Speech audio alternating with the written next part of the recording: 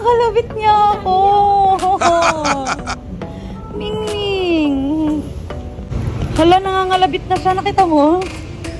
Yung pusa, kinalabit ako. Kaibigan na kayo.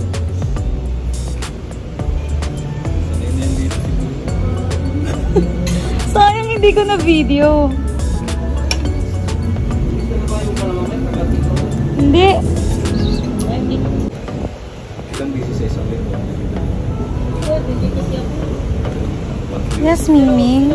You want more? You want uh, salmon? Gusto niya nang gusto niya nangangalabit siya. you want more? Oh my God. Swerte ni Shu ng pusang to. Gusto pa namimili. Gusto niya ng salmon. Oh, ayan ha. Mm. Ikaw din. Mamaya kalabitin mo na naman ako.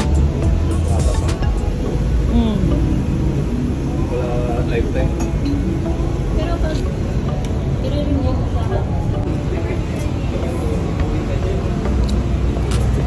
There's 30 baby. Dito center mo para may ganawan.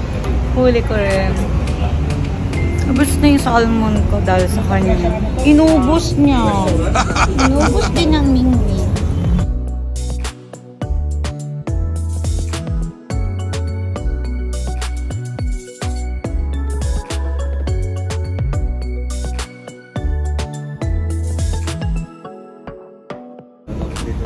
Grabe, social tong pusang to. Bakit nga nga nagkaroon ng pusa rito?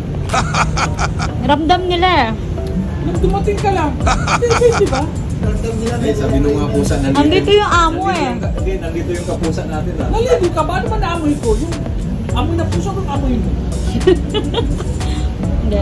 Marunong ako makipag-communicate sa mga animals. Animal.